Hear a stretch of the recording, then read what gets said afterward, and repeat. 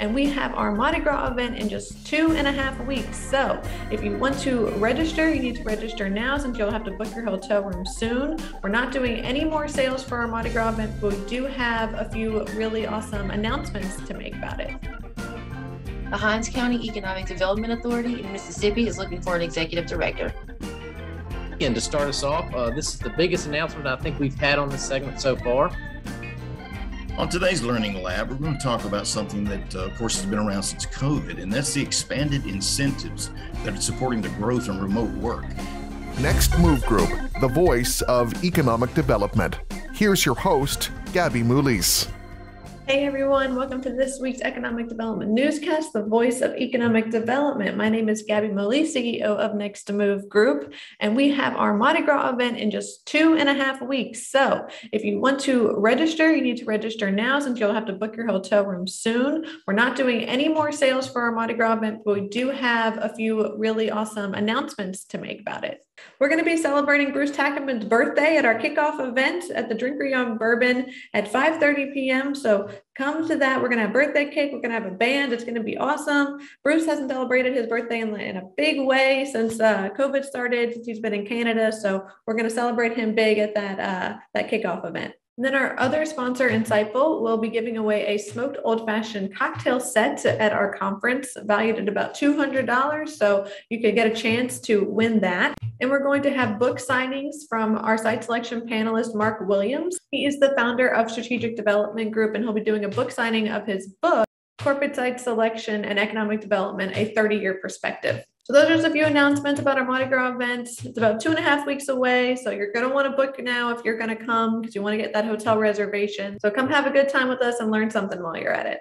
And that brings me to my next topic for our movement members. Uh, Chad Chancellor will be doing a video, which is going to be an in-depth look at our Mardi Gras event on Tuesday. So be on the lookout for that. And we have a couple of executive searches that are still open. We have one that closes this Friday. That's for the Springfield Area Missouri Chamber of Commerce. They're looking for a new vice president of economic development. So that closes um, Friday, February 11th at noon Central Time. And then we also have another search going on right now for Hinds County, Mississippi. They're searching for a new executive executive director that is located in Jackson, Mississippi, which is the capital of Mississippi, and is a really great area with lots of food, culture, blues music. So if you're interested in either of those jobs, you should reach out to Brittany McCoy on our team. And my tip of the day, if you're coming down for our Mardi Gras event you want to go check out the parades, you should bring some kind of backpack or something where you don't have to hold a bag in your hands because you're going to be waving your hands around, you're going to be holding stuff in your hands, and you're not going to want to have to be holding a bag or anything like that. So a light backpack where you can carry just a few essential things that you're going to need. And that's it. All right. Well, that's it for this week. And until next time. Due to various demands on time and resources, economic development and trade and export agencies often struggle to complete effective market research and business outreach campaigns. For the past 10 plus years, Research FDI, along with our affiliated consulting groups at Research B2B and FDI 365, have leveraged our in-house knowledge, resources, and expertise in market research and consulting to help over 250 organizations directly facilitate inward investment attraction and new trade and export opportunities for their regions across a wide variety of industry sectors. Our highly personalized services and best cost to quality ratio in the industry ensures our client satisfaction, leading to repeat customers year after year. What are you waiting for? leave the market research and business outreach to the expert team at Research FDI. To learn more about our services, contact us today.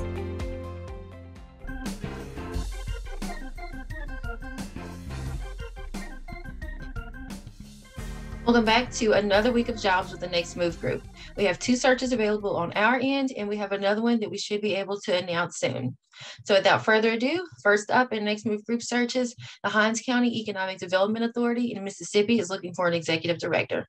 Hinds County is located in the heart of Mississippi and is home to the state capital of Jackson. The county consists of eight communities and is approximately and has an approximate population of 232,000. It's roughly six hours from Atlanta, Dallas, and Nashville, and about three hours from Memphis, Mobile, and New Orleans. The right fit will be able to form partnerships with local, regional, and state economic development organizations and work towards housing development and successfully market all that Hinds County has to offer. You can view the full job profile on our website at www.thenextmovegroup.com backslash Hines. And you can also apply by submitting your cover letter, resume, and references to Hines at thenextmovegroup.com. Any questions can be directed to me at Brittany at thenextmovegroup.com, or you can call me at 504 615 7174. The salary range for this position is 110,000 to 200,000. And the last, two, last day to apply is March 4th by noon. Next up, the Springfield Area Chamber of Commerce in Missouri is looking for a Vice President of Economic Development. Springfield has the culture, healthcare, and entertainment of a big city without the traffic. It also has a metro population of over 450,000. The Chamber's mission is to serve as the principal advocate for business in partnership with the community.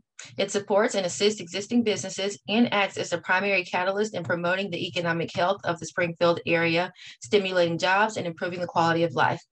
In this position, they would really like someone who can focus on the creation of shovel-ready sites and in rebuilding their BRE program. You can view the full job profile on our website at www.thenextmovegroup.com backslash Springfield. To apply, you'll submit your cover letter, resume, and references to Springfield at thenextmovegroup.com. You can send questions to me again at Brittany at thenextmovegroup.com or give me a call at 504 615 7174. The salary range for this one is 120 to 130,000, and the last day to apply is February 11th by noon. All right, and other searches available across the U.S. The Jamestown Stutsman Development Corporation in North Dakota is looking for a CEO. The CEO will act as a liaison in maintaining and building key relationships in support of community projects. He or she will also manage the activities, programs, and operations of the organization. Some of the key areas of responsibility include business development, relationship development, community and statewide engagement, public relations, operations management, and community development. A CECD certification is preferred as well as a minimum of five years of experience. You can apply by submitting your cover letter, resume, and references to info at growingjamestown.com. The salary range is 100 to 120,000. Next up, the Giddings Economic Development Corporation in Texas is looking for a president. The primary goal of this position is to provide leadership to the corporation and its constituent organizations in the achievement of community and economic development goals that result in employment and per capita income greater than that of the national average. Some of the president's responsibilities include planning and supervising of all corporation activities, pursuing grant funding opportunities, BRE, and startup and entrepreneurial guidance. A bachelor's degree is required. Five years of experience in economic development, investment attraction, or substantial experience, experience within business and industry is preferred. Lastly, a CECD certification is preferred in this position as well. You can view the full job, job description at jatoday.com. To apply, submit a cover letter, resume, and at least five work-related references to Susie at jatoday.com. The salary range is 90,000 to 100,000. Last but not least, Show Me Christian County in Missouri is looking for a president and CEO. So SMCC or Show Me Christian County is looking for a president who can lead the regional economic development strategies, strategies and initiatives across all municipalities within a county. The mission of SMCC as the collaborative partnership serving as a business concierge is to advance economic health through an intentional and balanced approach to growth. This position will require some travel, both local and out of state. To apply for this one, you'll follow the link provided. Last but not least, the salary range is 70,000 to 80,000. That's going to be it for jobs available across the U.S. And as always, good luck in the job search.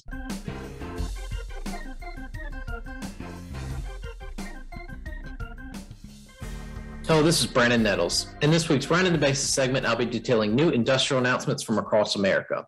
We have a bunch of big announcements this week, and to start us off, uh, this is the biggest announcement I think we've had on this segment so far. Intel will invest 20 billion in two new computer chip factories on a thousand acre site in Licking County, Ohio. The initial phase of the project is expected to create 3,000 jobs and 7,000 construction jobs over the course of the build. Monogram Assembled Foods will invest 53.5 billion to establish new operations in Dickson, Tennessee. The project is expected to create nearly 400 new jobs. West Pharmaceutical Services will invest more than 70 million to expand its manufacturing operation in Kinston, North Carolina. The project is expected to create approximately seven jobs over the coming years. Hyperion Companies will invest more than 297 million to relocate its HQ from Southern California to Columbus, Ohio. The project is expected to create 680 new jobs over the next six years. Eli Lilly and Company plans to invest 1 billion to build a new pharmaceutical manufacturing facility in Concord, North Carolina. The project is expected to create 600 new jobs in Cabarrus County. Quadrant will invest 95 million and build its first U.S. mass production facility in Louisville, Kentucky. The project is expected to create 200 new jobs. Tractor Supply Company plans to invest a, a plans to build a new distribution center in Maumelle, Arkansas. The $100 million project is expected to create 450 new jobs by the end of 2023. Piston Automotive will further expand its operations in Jefferson County, Kentucky. The, 20, the $26.3 million project is expected to create 117 new jobs. 80 Acres Farms plans to locate a new vertical farming facility in Boone County, Kentucky. The $74 uh, project is expected to create 125 new jobs. Boom Supersonic will build its manufacturing facility in Greensboro, North Carolina. That's a $500 million project, and it's expected to create more than 17, uh, 1,700 jobs by 2030 in Guilford County. General Motors will invest 4 billion to convert its Orion Township uh, assembly plant for the production of fuel size EV pickups, and up to 2.5 billion to build Ultium's third U.S. battery cell plant in Lansing, Michigan. The projects combined are expected to create approximately 4,000 new jobs.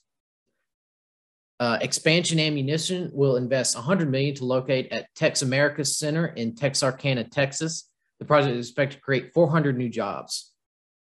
Greenidge Generation Holdings will invest 264 million to develop a new cryptocurrency data center in Spartanburg, South Carolina. X Energy will construct a new manufacturing facility in Metro Phoenix, Arizona. The $300 million project is expected to create more than 900 jobs over the coming years. General Motors plans to invest nearly 154 million at its components plant in Lockport, New York. The project is expected to create 230 jobs by 2026. Finally, 3M is going to expand uh, their manufacturing operations in Clinton, Tennessee. That's a $470 million project, and expect, it's expected to create 600 new jobs by 2025. That's going to round us out for this week. Uh, let us know if you have any announcements you'd like me to feature, and I'll see you next time.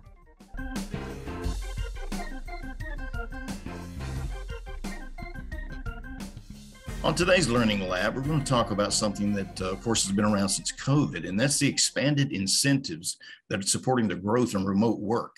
You know, local economies are benefiting from adding new jobs, and whether those jobs are performed on site or remotely, they are they are attracting quite a few incentives. Uh, so much about life has changed dramatically since March 2020, and for millions of Americans, we've had a crash course in remote work. Uh, as of an October 2020 Gallup survey, fully a third of American workforce was always working remotely, and another quarter said they were working remotely sometimes. Uh, for instance, tele- telework positions have been taken into account as far as incentives. It's a remarkable shift in work practices and attitudes, but it's now clearer than ever that the local economy benefits from adding new jobs on site or remote. Uh, there are incentives that are attracting new residents. Some communities are using the benefit of remote work to attract gainfully employed taxpayer residents. What about workspaces? The layouts of workspaces have even changed. Remote work is not just a necessary response to COVID, but potentially a new way of doing business that can be beneficial to some jurisdictions that could really stand to attract high paying remote jobs and the well paid people who who fill them. You know, before COVID, surveys repeatedly showed that around 80% of, of employees want to work from home at least some of the time. And the October Gallup survey confirms that a lot of people are liking what they've been experiencing. That's today's Learning Lab.